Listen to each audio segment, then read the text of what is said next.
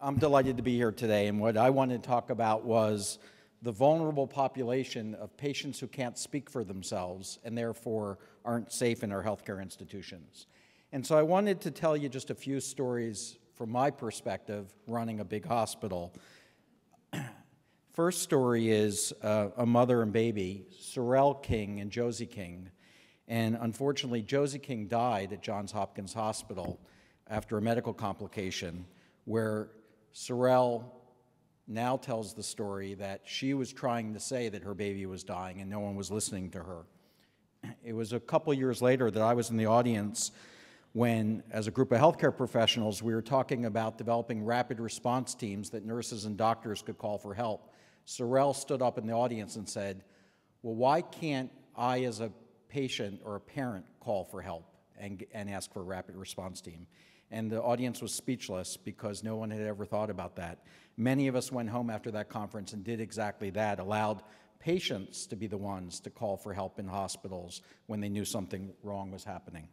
At Cincinnati Children's Hospital, you actually get the opportunity as a parent and a child to write in your own progress notes. Imagine that.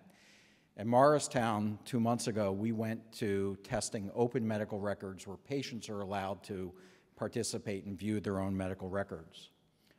We also eliminated visiting hour restrictions approximately a year ago, and since then, we've had 14,000 people be able to visit their family members 24 hours a day, 365 days a week that normally we would have prevented from coming in when we used to have restrictions to visiting hours. I want to tell you a story when I was the chief medical officer at Temple University Hospital. We had a patient who went for routine pre op labs, blood tests for a colonoscopy. She ended up getting a full workup for a liver transplant. How does that happen? She said she was following instructions from staff and thought that the hospital staff knew what they were doing. She didn't know how to say, I'm not supposed to be getting this. She went through a cardiac catheterization and a liver biopsy before people discovered that she was the wrong patient. That sounds funny, but it happens all the time. It's human nature. I don't know how many people know Guy Kewney. Guy sort of became famous. He was uh, uh, in uh, England only a week. He was an African immigrant, and he started to look for a job in London. He responded to an ad in the paper for a housekeeper at BBC. And he walked up to the front counter at BBC, and he was dressed the way he is, dressed nicely. And they said, Are you here for the interview? He said, Yes, I am. He said, they said, please follow me. He thought it was strange when they put bright lights on him and started putting makeup on him. And before he knew it, he was live on the air because they thought he was the Apple president of the United Kingdom discussing the introduction of the new iPod. And he went, he did pretty good in the interview, but this is, this is really what happens. So people just don't always understand instructions.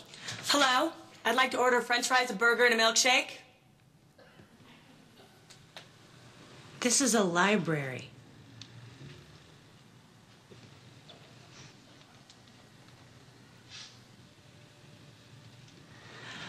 I'd like to order french fries, a burger, and a milkshake.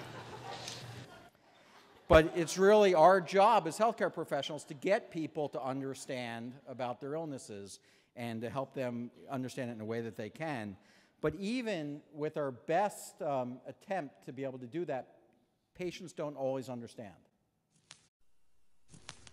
Now we're going to run a few tests. This is a simple lie detector. I'll ask you a few yes or no questions and you just answer truthfully. Do you understand? Yes.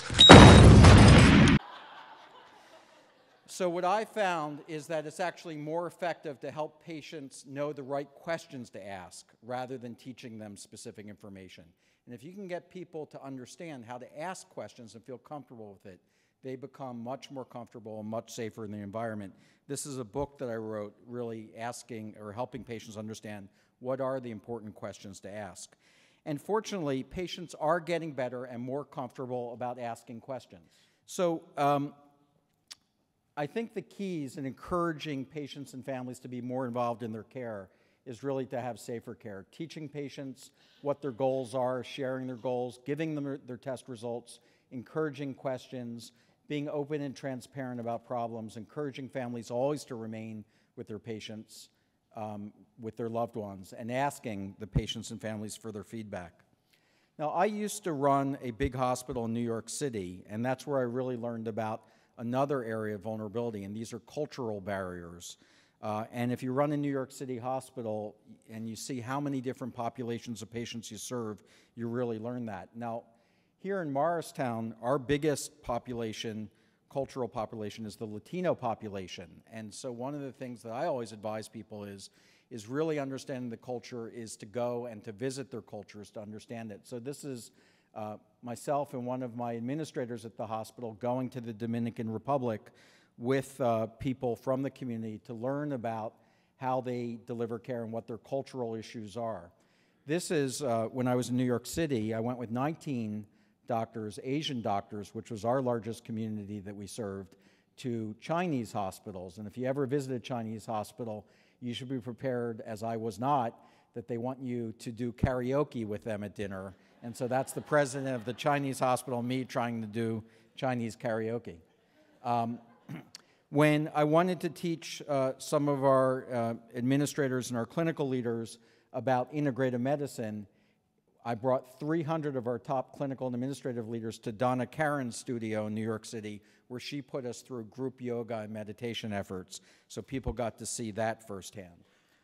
The group of patients that are really vulnerable because they never really get a chance to speak up are those that can't get access to care and those that never get a chance to make appointments because we're so difficult to use in our healthcare system.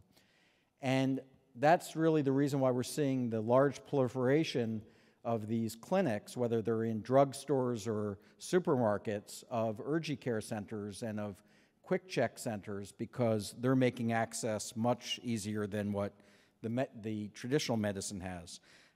um, one of the strategies that I used in New York City was to take our primary care practices and keep them open 24 hours a day, 365 days a week, so that in healthcare, you always knew you could find your primary care doctor when you needed it.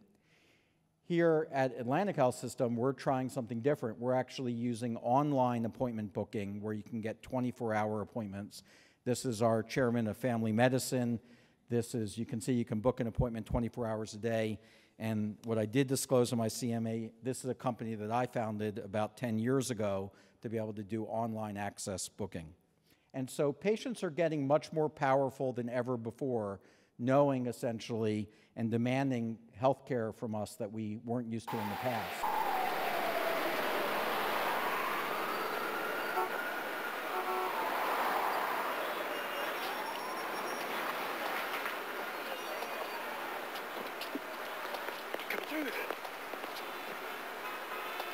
No matter who you are,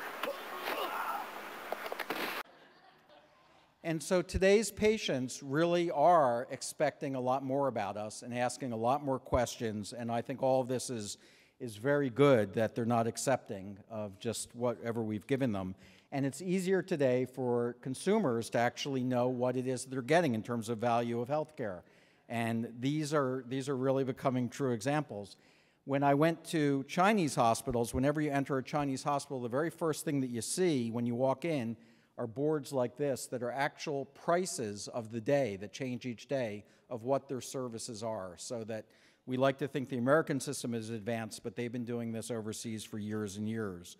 And patients are uh, getting more comfortable acting like consumers. We have a semi-private labor room waiting for you. Oh, whoa, whoa, gonna... whoa, whoa, whoa, I'm sorry. Semi-private? We, we, we asked for a private room. Give her some money. Okay. Say, would you um, would you mind checking again, see if any uh, private rooms may have opened up? This is a hospital. Okay. You know what? I have to say, I don't really care for your tone. And this is not the only hospital in the city, and we have no problem to... Whoa. Oh, gosh. Whoa. What? what? Oh, ow. Contraction. Ow. Oh. Ow. Ow. Ow. Oof. Oof. Ah. Would you like to see a semi-private room? Yeah, it couldn't hurt to look. So while consumers are getting more active and more comfortable, it sure is taking a long time. 10 years ago, actually 15 years ago now, I started a company that actually helped consumers select healthcare quality based upon outcomes and cost.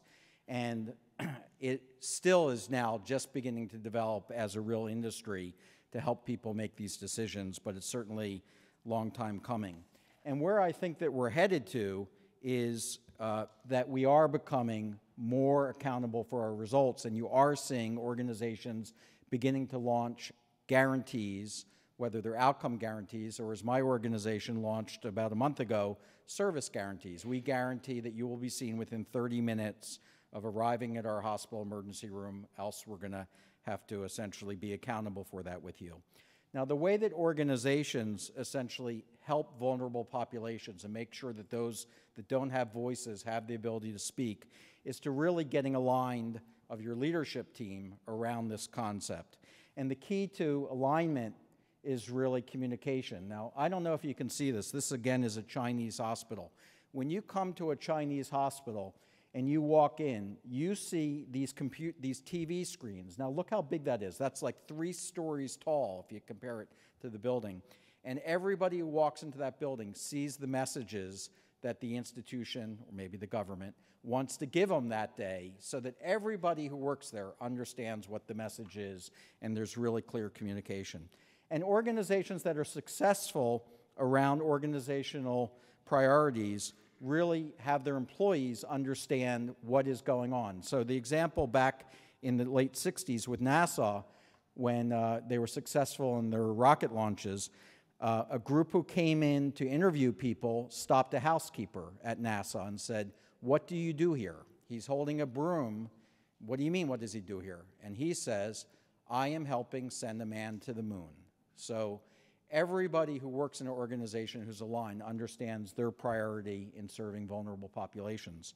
When you have employees that are not aligned, uh, it can look a little bit like this. This was my very first day on my job when I, when I uh, took the job as CEO of a New York City hospital.